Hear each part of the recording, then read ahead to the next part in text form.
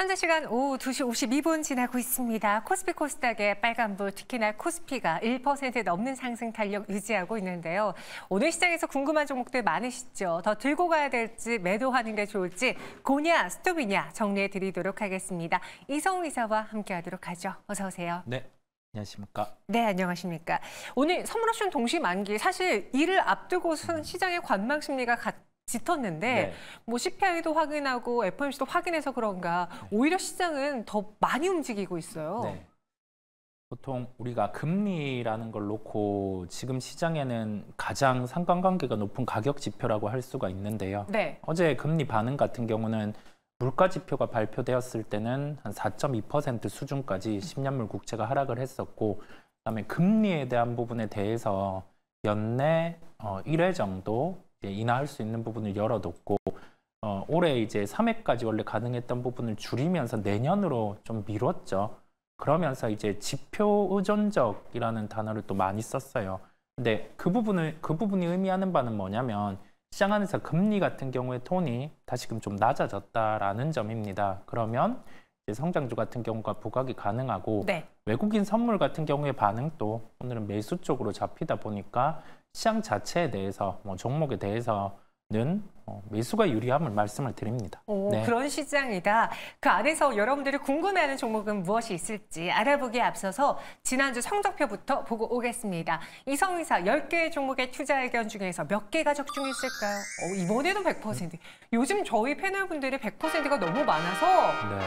이 빵빠레도 이제는 좀 식상해졌어요. 네네. 예, 뭔가 여기에 좀 스파이를 하나 넣어야겠다는 생각이 드는데 음, 요즘 시장이 좀 맞추기가 쉽나요?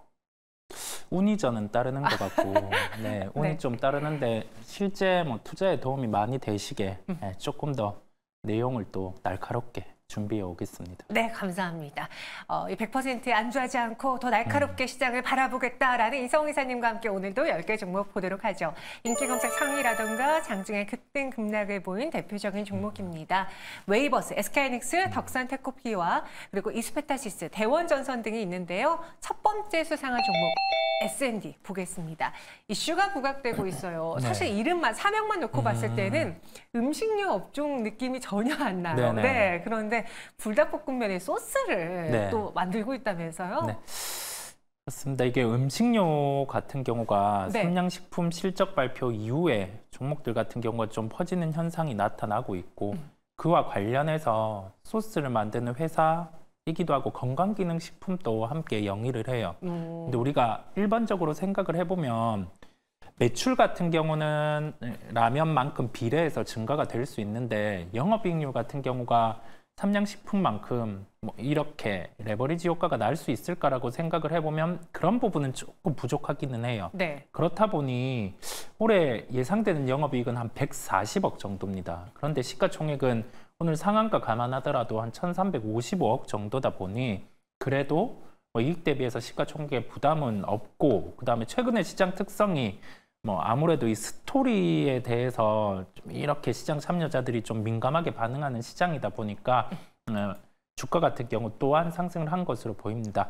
그런데 아직 뭐 지금 나오는 이익 대비해서도 상승에 대한 부분이 더 남아 있기에 그에 대한 의견을 종목을 통해서 드립니다. 어, 사실 저는 오늘 오후장에 살짝 정말 뭐 몇 분 정도 상한가가 풀린 적이 있어서 네네. 아 이러다가 또 차익실현 매도 물량 나오면 음. 어떡하나 걱정했는데 이 불닭볶음면 흥행에 벌어들이는 돈 그 수익을 비교해 봤을 때 현재 시총이 그리 높진 않다. 네. 그래서 추가 상승 가능해 보인다. 네. 오, 이렇게 그래서 그 의견 주겼, 주셨습니다. 그럼 삼양식품을 따라갈까요? 아니면 이 S&D를 따라가는 게 좋을까요? 상대적으로. 상대적으로 비교하면은 삼양식품이 낫습니다. 삼양식품이 낫고요. 네. 삼양식품은 이거를 추격해서 매수하기에는 지금은 좀 한계가 있고 고점 대비해서 한 20% 조정이 나올 때안 나올까요? 나오면 그냥 패스. 네, 어. 안 나오면 패스하고요. 나오면 그냥 매수를 할 수 있고 네, 그렇게 말씀을 드립니다. S&D 추가 상승 가능해 보입니다. 오늘 상한가 같고요. 그리고 삼양식품에 대한 의견도 주셨지만 조정 시에 매수해 보겠습니다. 이어서 두 번째 종목 보시죠. 인기검색 상위에 올라와 있는 한국가스공사입니다. 이 영일만 유전 발표 이후에 주가가 한 70%가량 수직 상승을 했어요. 그 증권가에서 마치 이 종목을 사세요라고 말하는 것처럼 너무나 매력적으로 영일만 테마의 수혜주로 소개를 네. 하고 있던데 한국가스공사 개인적으로 어떻게 판단하십니까?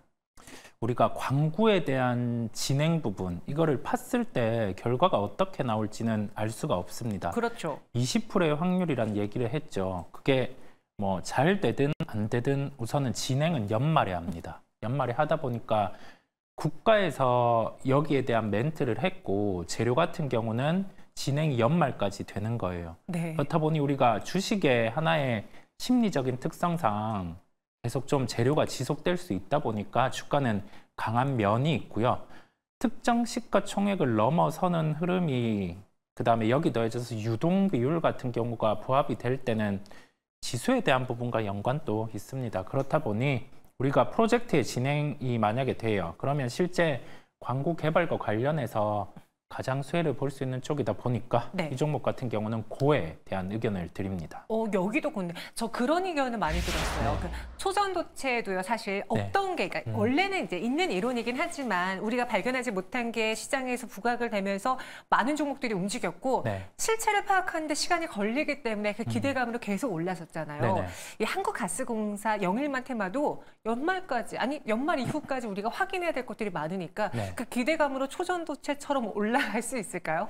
네, 충분히 가능하고요. 네. 지금은 이 탐사와 관련해서 실제 수익을 가지고 올 수 있는 곳과 주가가 반응했던 거는 뭐 배관이라든지 그 다음에 시추와 관련해서 드릴 기업들 같은 경우가 반응, 반응을 했는데요. 음. 마지막에 이게 파괴되는 시점에 갔을 때는 컨소시엄을 구성을 하게 될 거예요. 그 컨소시엄의 어, 대표로 설 수 있는 기업이 현대건설, 그 다음에 삼성 E&A죠. 엔지니어링 사명 변경한 기업.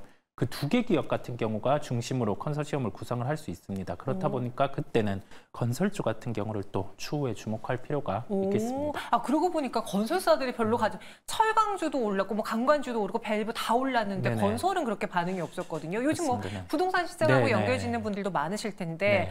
어 그러면은 그 건설주들의 움직임은 보고 움직인 다음에 따라 들어가는 게 좋을까요? 지금 좀 미리 매수해 놓는 게 좋을까요?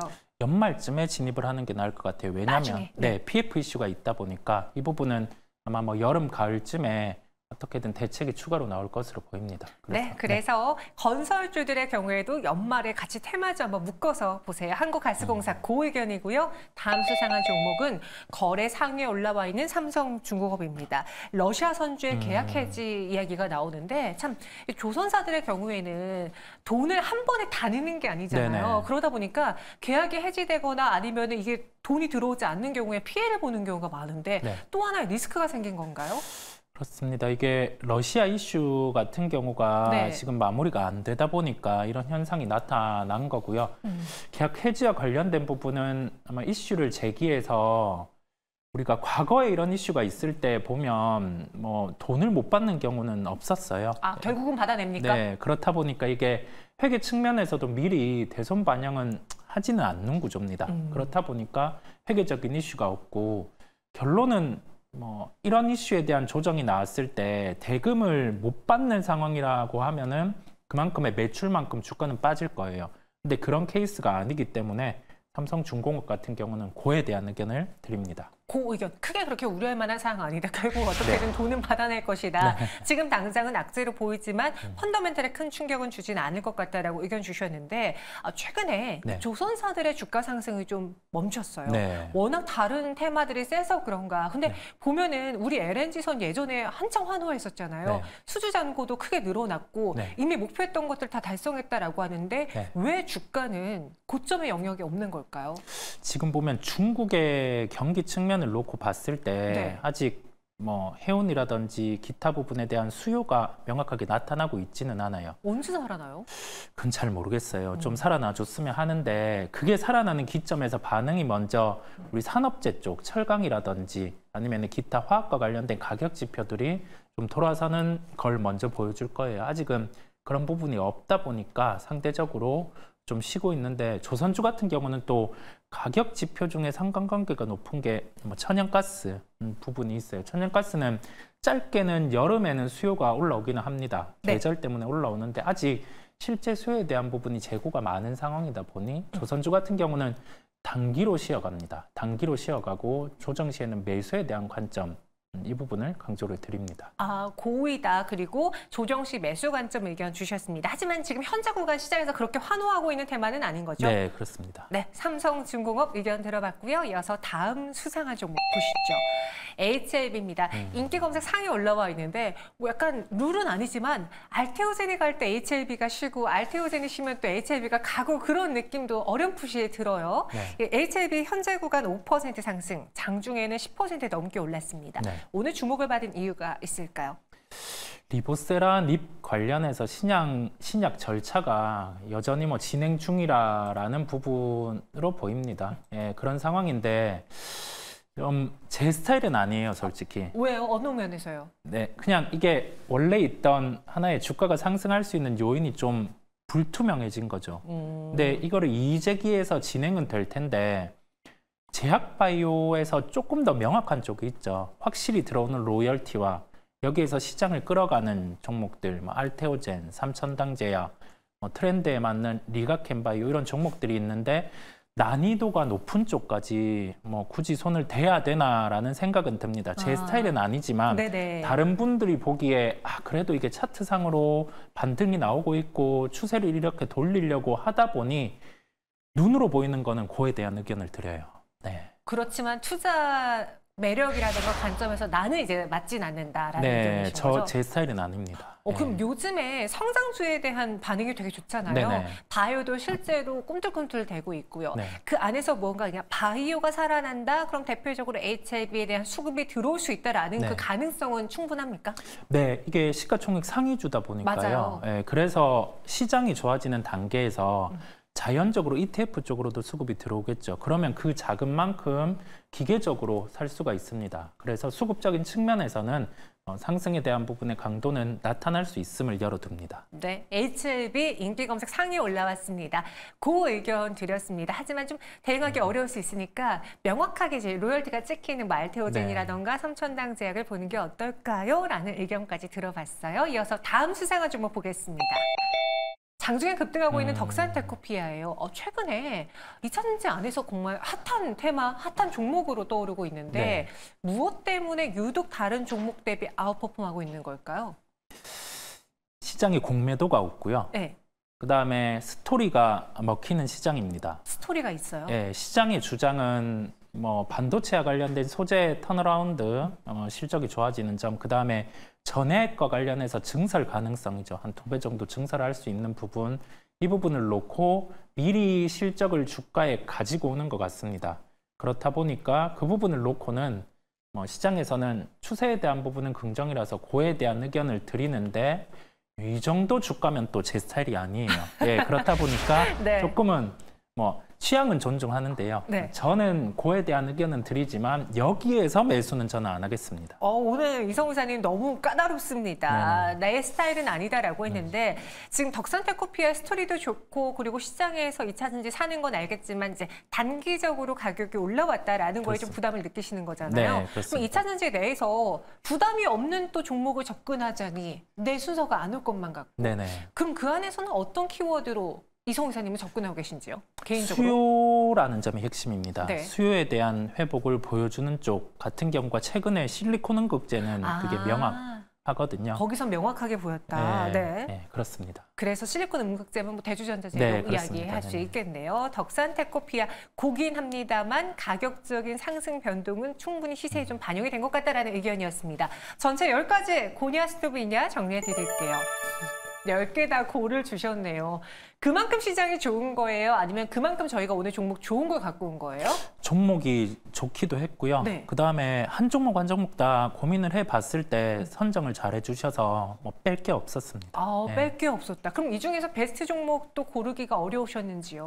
네, 좀 고민은 됐어요. 고민은 됐는데 제 스타일대로 갔습니다. 네, 종목은 한국가스공사를 말씀드리려고 합니다. 한국가스공사요? 네. 네. 할 수 있어야죠. 네, 시장 같은 경우가 연말까지 이게 재료가 지속되다 보니까 음. 충분히 한 번에 해 보실 필요도 있어요. 그 다음에 우리가 최근에 수급과 관련된 이벤트 같은 경우는 지속성이 있습니다.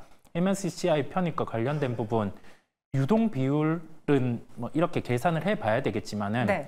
시가총액에 대한 허들은 지금 이제 거의 임박이거든요. 그렇다 보니 시가총액 6조 정도까지도 어, 상승이 가능할 것으로 예상이 됩니다. 오, 시총 6조요. 네, 매수가는 48,500원 정도. 아, 좀 가격에 간극이 있는데 그 정도 어, 좀 매수가 가능하겠고요. 목표가는 6만 원, 6만 원 이상 이 정도 가격을 제시를 합니다. 어, 현재 네. 시총은 4조 7천억, 한 8천억 부근입니다. 그런데 6조까지도 가능해 보인다라고 해주셨고요. 네. 이 한국가스공사 말고 다른 굳이 영일만 테마주를 볼 필요는 없으니까 오늘 같은 경우에는 뭐 포스코 인터내셔널이라던가 네. 상사주들도 좀 반응을 해주고 있는데 네. 대장입니까? 네, 대장이 한국가스공사고 뭐 포스코 인터내셔널 같은 경우도 조금은 영향은 있을 수 있는데 1등주랑 그다음에 시추 관련해서 몇몇 종목들 뭐 일진 다이아라든지 이런 네. 종목들을 함께 좀 보시면 그래도 주식을 재밌게 하실 수가 있겠습니다. 연말까지 살아있는 이슈가 있는 한국가스공사입니다. 오, 저희 방송을 누군가 보셨는지 지금 주가 상승폭이 늘어나고 있어요. 12% 넘게 상승하고 있습니다. 오늘의 베스트 종목까지 전해드렸고요. 100% 적중률 보이고 있는 이성 이사와 함께했습니다. 설명 고맙습니다. 네.